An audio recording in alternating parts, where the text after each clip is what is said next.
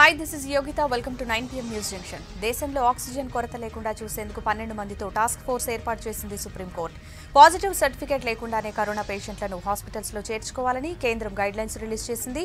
చాలా రాష్ట్రాల్లో కొనసాగుతున్న లాక్డౌన్ దేవరి అంజాల్ భూములపై అంత హడావుడి ఎందుకని సర్కార్ని ప్రశ్నించిన హైకోర్టు. వ్యాక్సిన్ కోసం రాష్ట్రంలో ఇవాళ కూడా తిప్పలు. మరిన్ని డీటెయిల్స్ చూసే ముందు న్యూస్ జంక్షన్ హైలైట్స్ చూద్దాం. కరోనా టైంలో ఐఏఎస్లతో భూములపై కమిటీలేంటి? చాలా ఆలయాలున్నా ఒక్కదానికే హడావుడేంటన్న హైకోర్టు.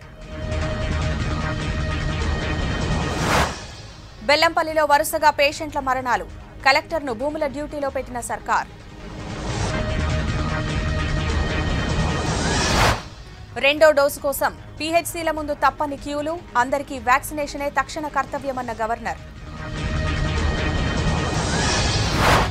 రామగుండం పోలీసుల అదుపులో పుట్టా మధు. జంట హత్యలపై స్పెషల్ కోర్టు పెట్టాలని సర్కార్ లేఖ. రాష్ట్రాలకు ఆక్సిజన్ పంపిణీపై సుప్రీం పర్యవేక్షణ పన్నెండు మంది సభ్యులతో టాస్క్ ఫోర్స్ ఏర్పాటు. పేషెంట్ అడ్మిషన్కు పాజిటివ్ సర్టిఫికేట్ అక్కర్లేదు. ఎక్కడి వారికైనా ట్రీట్మెంట్ ఇవ్వాలని కేంద్రం గైడ్ కరోనా ట్రీట్మెంట్లో డిఆర్డీఓ డ్రగ్ వాడొచ్చు. అత్యవసర వినియోగానికి డీసీజీఐ పర్మిషన్. దేశంలో అందరికీ ఫ్రీ టీకా ఇవ్వాలన్న మమత. వ్యాక్సిన్పై జీఎస్టీ ఎందుకన్న రాజస్థాన్ మంత్రి. పది నుంచి ఇరవై నాలుగు వరకు తమిళనాడులో లాక్డౌన్. మన రాష్ట్రం మినహా అన్ని ప్రధాన రాష్ట్రాల్లో అమలు.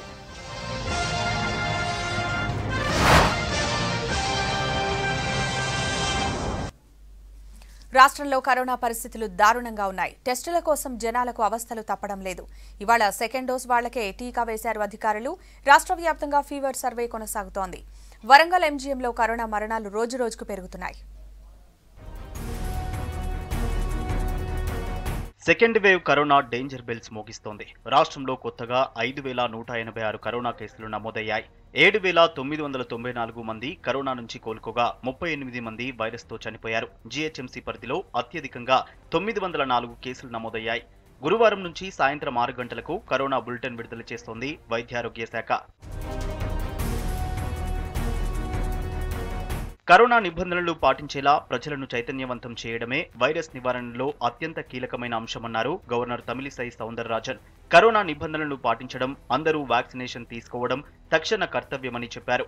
ప్రపంచ రెడ్ క్రాస్ దినోత్సవ సందర్భంగా రెడ్ క్రాస్ రాష్ట్ర జిల్లాల ప్రతినిధులతో వర్చువల్ పద్ధతిలో ఇంటరాక్ట్ అయ్యారు గవర్నర్.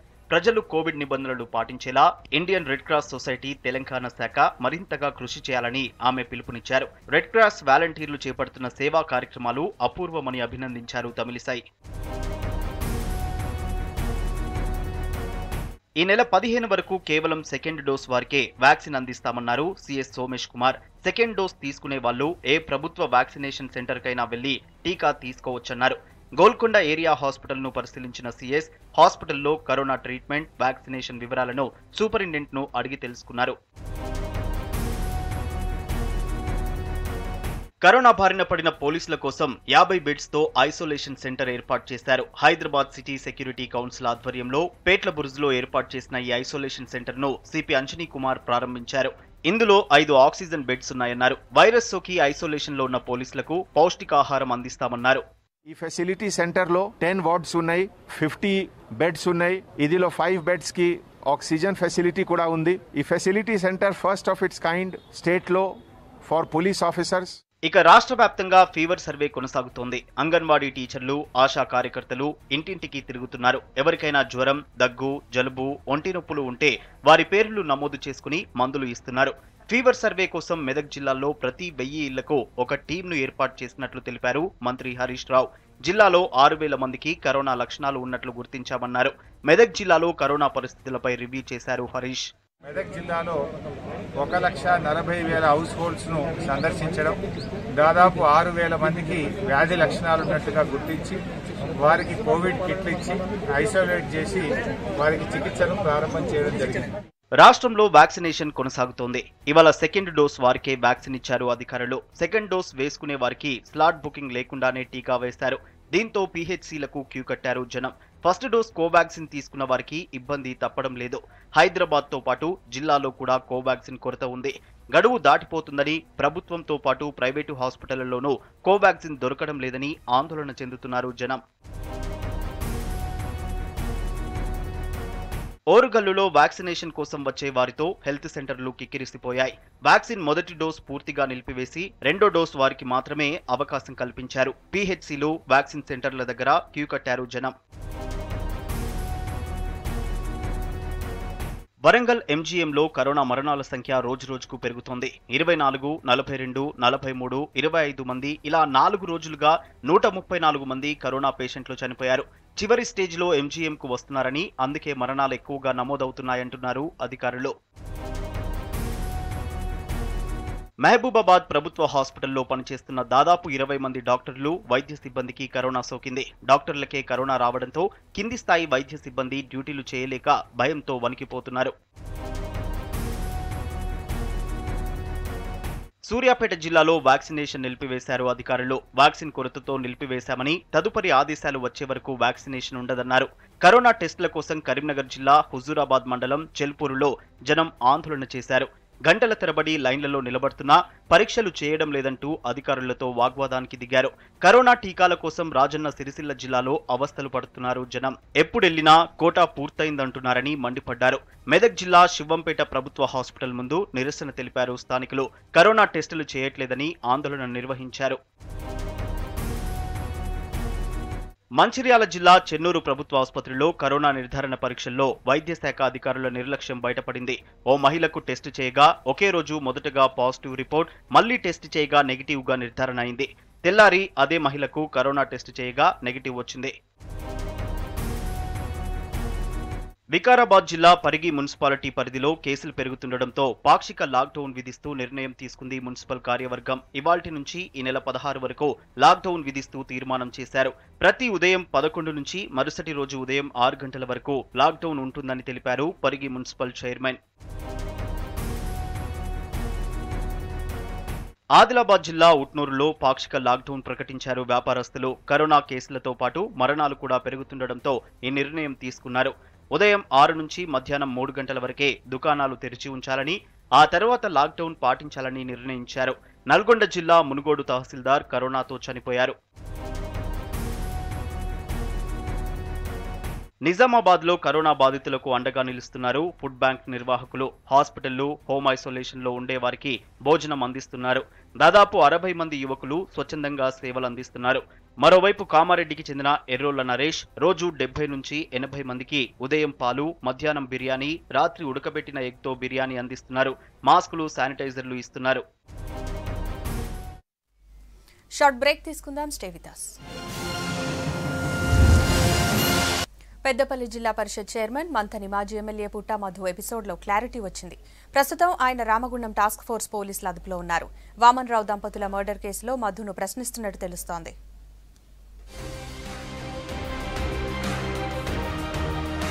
పెద్దపల్లి జిల్లా పరిషత్ చైర్మన్ మంత్రిని మాజీ ఎమ్మెల్యే పుట్టా మధు చుట్టూ ఉచ్చు బిగిస్తోంది.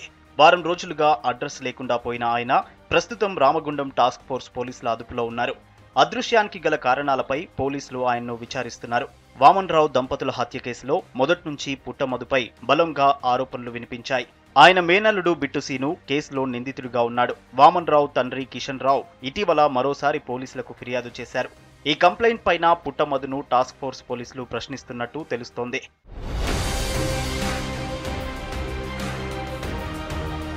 మాజీ మంత్రి ఈటెల ఫస్ట్ ప్రెస్ మీట్ తర్వాత అడ్రస్ లేకుండా పోయారు పుట్టమధు ఫోన్ స్విచ్ ఆఫ్ వచ్చింది. ఎక్కడికి వెళ్ళారన్న సమాచారం లేదు. గన్మెన్లు లేకుండానే వెళ్ళారని ప్రచారం జరిగింది. అయితే గన్మెన్లు మధుతో ఉన్నారని పోలీసులు చెప్పారు. ఇలా వ్యవహారం వారం రోజులుగా నడిచింది. అటు పోలీసులు కానీ ఇటు పుట్టమధు ఫ్యామిలీ కానీ క్లారిటీ ఇవ్వలేదు. ఇవాళ తమ అదుపులోనే పుట్టమధు ఉన్నట్లు రామగుండం టాస్క్ ఫోర్స్ పోలీసులు ప్రెస్ నోట్ రిలీజ్ చేశారు.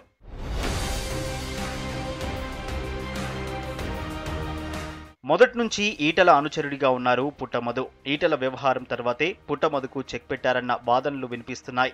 మరోవైపు వామన్ రావు మర్డర్ కేసులో ఆయన తండ్రి ఇచ్చిన మరో ఫిర్యాదుపైనే పుట్టమధును పోలీసులు అదుపులోకి తీసుకున్నట్టు సమాచారం. ఈటల నియోజకవర్గం హుజూరాబాద్లో ఉన్నతాధికారుల బదిలీలు వరుసగా జరుగుతున్నాయి. ఈటల అనుచరులపై పాత కేసుల్ని తవ్వుతున్నారు పోలీసులు. ఇప్పుడు పుట్టమదు ఎపిసోడ్ అటువంటిదేనన్న ప్రచారం జరుగుతోంది.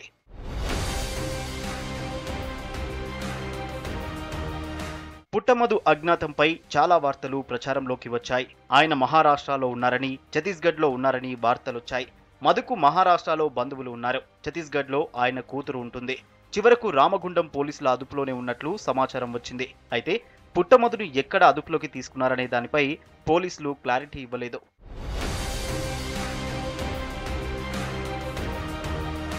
మరోవైపు వామన్రావు దంపతుల హత్య కేసులో స్పెషల్ కోర్టు ఏర్పాటు చేయాలని హైకోర్టుకు రాష్ట్ర ప్రభుత్వం లెటర్ రాసింది కరీంనగర్ జిల్లాలోని ఒక కోర్టును కేసు విచారణకు కేటాయించాలని కోరింది.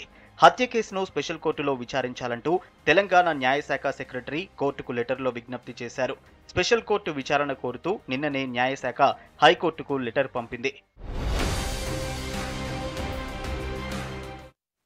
దేవరై అంజాల్ భూములపై ప్రభుత్వం కౌంటర్ దాఖలు చేసే వరకు ఎటువంటి చర్యలు తీసుకోవద్దని ఆదేశించింది హైకోర్టు. ఐఏఎస్ల కమిటీ విచారణపై విచారణ జరిపింది ధర్మాసనం. కరోనా టైంలో పనులేం లేనట్లు ఐఏఎస్లతో కమిటీలు హడావుడి విచారణలు ఎందుకని ప్రశ్నించింది. పిటిషనర్ల భూముల్లో ప్రభుత్వ జోక్యం వద్దని మధ్యంతర ఉత్తర్వులిచ్చింది హైకోర్టు. కరోనా టైంలో కమిటీలపై హైకోర్టు సీరియస్ అయింది. దేవరయాంజాల్ సీతారామలయ భూములకు సంబంధించిన పిటిషన్పై హైకోర్టులో విచారణ జరిగింది. పిటిషనర్ తరపున అడ్వకేట్ వివేక్ రెడ్డి వాదనలు వినిపించారు. ఈ నెల మూడున జారీ చేసిన ఐఏఎస్ల committee GO one zero one ఫోర్ను సవాల్ చేస్తూ పిటిషన్ దాఖలైంది. వాదనలు విన్న హైకోర్టు కరోనా సమయంలో ఇంత హడావిడి అవసరమా అని కామెంట్ చేసింది. తమ ఇంటి పక్కన వ్యక్తి చనిపోతే శ్మశానానికి వెళ్ళేందుకు ఎంతో సమయం పట్టిందని హైకోర్టు జడ్జి అన్నారు. ఇలాంటి పాండమిక్ టైంలో నలుగురు ఐఏఎస్ అధికారులతో కమిటీ వేయాల్సిన అవసరం ఏమొచ్చిందని సర్కారును ప్రశ్నించారు. దేవరయాంజాల్ భూములపై పేపర్లో వచ్చిన కథనాల ఆధారంగా జీవోలు ఇస్తారా అని ప్రశ్నించింది హైకోర్టు. మిగతా ఆలయ భూముల పరిస్థితి ఏంటని ప్రభుత్వాన్ని ప్రశ్నించింది. దేవరయాంజాల్ భూముల సర్వేపై కౌంటర్ దాఖలు చేయాలని రాష్ట్ర ప్రభుత్వాన్ని ఆదేశించింది. అప్పటి వరకు భూములపై ఎలాంటి నిర్ణయం తీసుకోవద్దని చెప్పింది. చట్ట ప్రకారం వ్యవహరించాలని కమిటీ ముందస్తు నోటీసులు జారీ చేసి విచారణ చేయాలని హైకోర్టు తెలిపింది. నవాబ్ ఏదైతే వీళ్ళకి ఇచ్చిండ్రో సుమారుగా పదిహేను వందల ఎకరాల జాగా ఏదైతే ఉందో సీతారామ దేవాలయానికి ఇచ్చింది అది మా పొజిషన్లో ఉంది అది మాది అనేటువంటి వాదన వినిపించారు. కాబట్టి మేము చట్ట ప్రకారంగా మేము తీసుకునే అధికారం ఉందని చెప్పారు. దానికోసం అడిగింది ఏంటంటే అండర్ వాట్ ప్రొవిజన్ చట్టంలో ఉన్నటువంటి ఏ నిబంధన ప్రకారంగా మీరు అది వాళ్ళని ఎంక్రోచెస్ అని GO one zero one four issue చేశారు నెంబర్ వన్ లేదంటే స్పెషల్ యాక్ట్ ఏమన్నా ఉందా? నాకు చెప్పండి. దాని ప్రకారంగా మేము ఈ విధంగా చేశామని చెప్పండి అన్నప్పుడు అదేం లేదు మేము due process of law follow చేస్తాం. దాన్ని ఫాలో చేయండి. హైకోర్టు ప్రశ్నలకు అడ్వకేట్ జనరల్ వాదనలు వినిపించారు. ప్రభుత్వం నియమించిన కమిటీ ప్రాథమిక విచారణ మాత్రమే చేస్తుందని తెలిపారు. ఆ స్థలాల్లో నుంచి ఎవరిని ఖాళీ చేయించడం కానీ ఇతర చర్యలు తీసుకోవడం కానీ చేయటం లేదని తెలిపారు. కమిటీ నివేదిక ఆధారంగా ప్రభుత్వం చర్యలు తీసుకుంటుందన్నారు. ఇప్పుడే కూల్చివేత వంటి చర్యలు ఉండవని చెప్పారు. ఏజీ వ్యాఖ్యలపై హైకోర్టు స్పందిస్తూ ప్రాథమిక విచారణకైనా చట్ట ప్రకారం నోటీసులు ఇవ్వాలంది.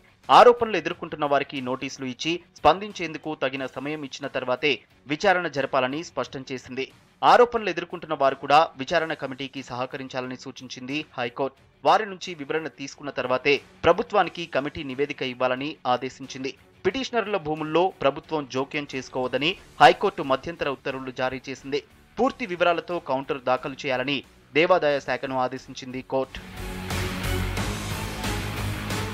దేవరయాంజాల్ భూముల వ్యవహారంపై హైకోర్టు వ్యాఖ్యల తర్వాత అయినా ప్రభుత్వం పునరాలోచించాలన్నారు సిపిఐ రాష్ట్ర కార్యదర్శి చాడా వెంకటరెడ్డి. భూముల అన్యాక్రాంతంపై గతంలో అనేక కమిటీలు వేశారని కానీ విచారణ మాత్రం శూన్యమని తెలిపారు. ఈటల రాజేందర్ అసైన్డ్ భూముల వ్యవహారం దేవరయాంజాల్లో జమునా హ్యాచరీస్ వ్యవహారం వారికే పరిమితమై లేదని చెప్పారు. ఇందులో అనేక మంది వ్యక్తులు రైతుల భాగస్వామ్యం ఉందని తెలిపారు. ప్రభుత్వానికి చిత్తశుద్ధి నిజాయితీ ఉంటే అసైన్డ్ భూములు దేవాదాయ వక్ఫ్ బోర్డు భూములను ఎంతమంది కబ్జా చేశారో బయట బయటపెట్టాలన్నారు చాడా.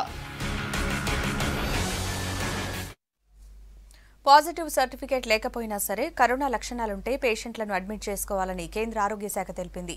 దేశంలో ఆక్సిజన్ లభ్యత సరఫరాపై పన్నెండు మందితో టాస్క్ ఫోర్స్ ఏర్పాటు చేసింది సుప్రీంకోర్టు. ఇవాళ తమిళనాడు మహారాష్ట్ర హిమాచల్ ప్రదేశ్ మధ్యప్రదేశ్ సీఎంలతో మాట్లాడారు ప్రధాని మోడీ. హాస్పిటల్స్లో కరోనా పేషెంట్ల అడ్మిషన్స్ కోసం కొత్త గైడ్ లైన్స్ రిలీజ్ చేసింది కేంద్ర ఆరోగ్య శాఖ. పేషెంట్ల సౌకర్యం కోసం గైడ్ లైన్స్ మార్చినట్టు తెలిపింది. హాస్పిటల్లో లేదా కరోనా కేర్ సెంటర్లో అడ్మిట్ కావాలంటే కరోనా పాజిటివ్ సర్టిఫికేట్ తప్పనిసరి కాదని స్పష్టం చేసింది. లక్షణాలున్న బాధితులను అడ్మిట్ చేసుకుని ట్రీట్మెంట్ ఇవ్వాలి. అలాగే ఐడెంటిటీ కార్డు ఇవ్వలేదనే కారణంతో ఎవరికీ అడ్మిషన్ నిరాకరించకూడదని తేల్చి చెప్పింది. పేషెంట్ స్థానికుడా కాదా అనేది అనవసరమంది ఆరోగ్య శాఖ పేషెంట్ ఎక్కడి వారైనా సరే ట్రీట్మెంట్ చేయాలని స్పష్టం చేసింది. అలాగే అవసరాన్ని బట్టే అడ్మిషన్స్ ఉండాలని సూచించింది. హాస్పిటలైజేషన్ అవసరం లేని వారు బెడ్స్ ఆక్యుపై చేయకుండా చూడాలని ఆదేశించింది. డిశ్చార్జ్ పాలసీ ఖచ్చితంగా పాటించాలని సూచించింది కేంద్ర ఆరోగ్య శాఖ.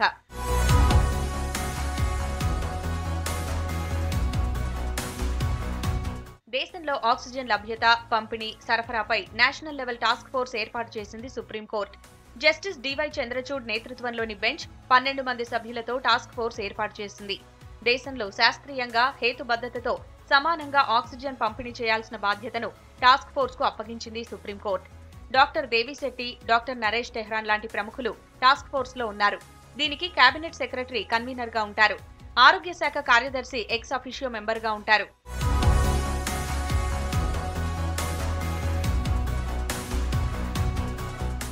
రాష్ట్రాల్లో కరోనా పరిస్థితులపై ప్రతిరోజు ముఖ్యమంత్రులతో మాట్లాడుతున్నారు ప్రధానమంత్రి నరేంద్ర మోడీ.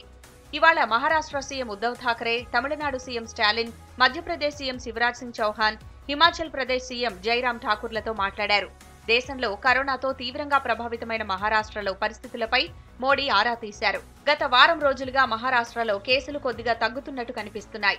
రాష్ట్రానికి ఆక్సిజన్ కేటాయింపులు పెంచాలని మోడీని కోరారు ఉద్దవ్ ఠాకరే ఇక తాము చేపట్టిన చర్యలపై మోడీ సంతృప్తి వ్యక్తం చేశారని మధ్యప్రదేశ్ సీఎం శివరాజ్ సింగ్ చౌహాన్ ట్వీట్ చేశారు. కేంద్రం నుంచి సంపూర్ణ సహకారం ఇస్తామని హామీ ఇచ్చినట్టు తెలిపారు.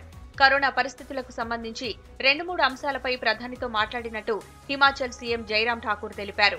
ఆక్సిజన్ కోటాను రెట్టింపు చేయాలని ప్రధానిని కోరామన్నారు. అలాగే ఆక్సిజన్ సిలిండర్లు ఇవ్వాలని రిక్వెస్ట్ చేశామన్నారు.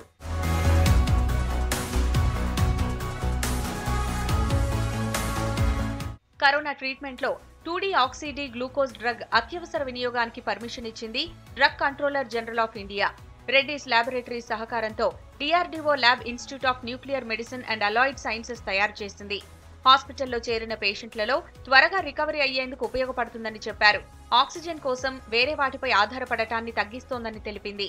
టూ డీజీ తీసుకున్న ఎక్కువ మంది పేషెంట్లలో ఆర్టీపీసీఆర్ నెగటివ్ చూపించిందన్నారు. ఈ మందు పౌడర్ రూపంలో ఉంటుందని దీన్ని నీటిలో కలిపి ఇవ్వాల్సి ఉంటుందని ఇది వైరస్ సోకిన కణాలలోకి చేరి వైరస్ ఉత్పత్తిని తగ్గిస్తుందని చెప్పింది.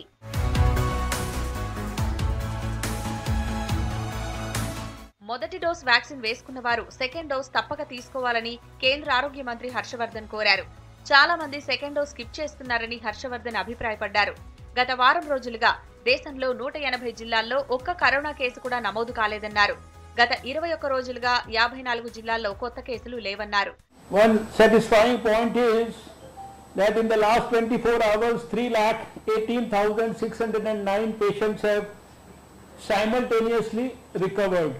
We saw and noticed that for last seven days, 180 districts in the country have not seen a single new case.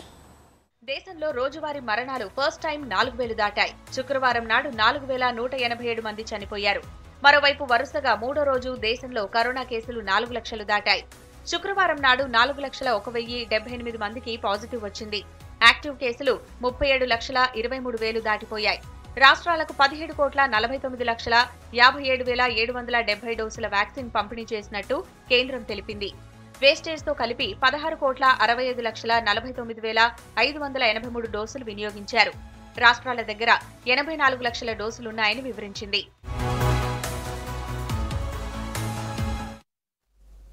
ఇవి ఇప్పటి వరకు అప్డేట్స్ కమింగ్ అప్. తీన్మార్ వార్తలు keep watching V six news.